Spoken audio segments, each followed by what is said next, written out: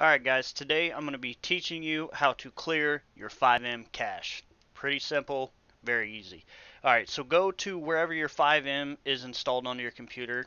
Uh, mine's under this because I'm a Windows 10 user. Right click on FiveM and if you're Windows 10, click More and then Open File Location.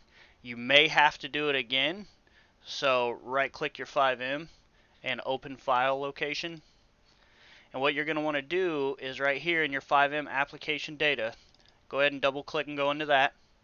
Find your cache folder, double click that. And what you're going to want to do is select all these and then unselect game. So it's going to delete everything in the blue. It's going to leave the game folder alone, which is just fine. Go ahead and delete that.